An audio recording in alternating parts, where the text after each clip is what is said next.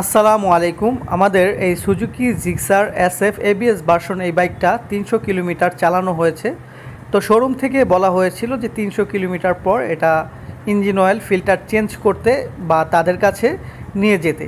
তো আজকের ভিডিওটা আপনারা দেখতে পারবেন যে তিনশো কিলোমিটার পর একটা বাইকের প্রথম সার্ভিসিংয়ে কি করতে হয় এবং কি কাজটা তারা করছে। তো চলুন ভিডিওটি শুরু করি। চলুন যাওয়া যাক। এই বাইকটি কেনা হয়েছে উত্তরা মোটর জোন থেকে। তো সেই জায়গায় যাব। আমরা হচ্ছে টঙ্গী থেকে এখন যাচ্ছি উত্তরা।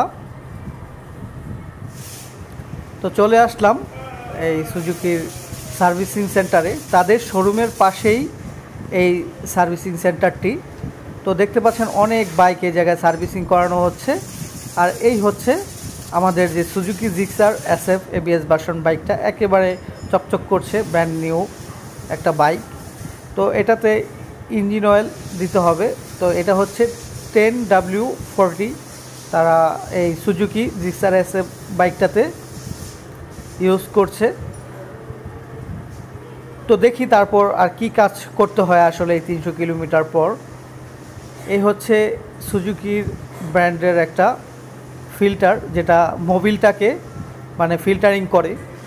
তো প্রথম সার্ভিসিংটা তিনশো কিলোমিটারে করাই আসলে ভালো। অনেকে এটা পাঁচশো, এক হাজারে করে। কিন্তু আসলে প্রথম দিকে যে ইঞ্জিনের ভিতরে বিভিন্ন ধরনের মানে ডাস্ট পার্টিকেল যেগুলা থাকে ইঞ্জিনের ভিতরে তো অনেক সময় অনেক মেটাল বা কিছু গুঁড়া গুঁড়া এগুলো থাকতে পারে। সেগুলি যেন মানে চলে একটা মোবিলের সাথে বা ইঞ্জিন অয়েলের সাথে পড়ে যায়, সেজন্য প্রথম ইঞ্জিন অয়েলটা এরকম দুইশো, তিনশো কিলোমিটারে চেঞ্জ করে দিলেই ভালো। তারপরটা পাঁচশো কিলোমিটার পর চেঞ্জ করলেও হবে, তারপরটা সাতশো কিলোমিটার পর।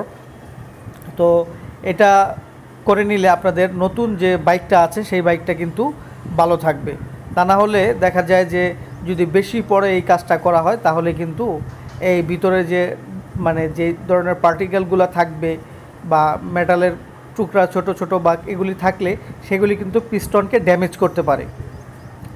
তো আসলে এই কাজটা আজকে করা হয়েছে।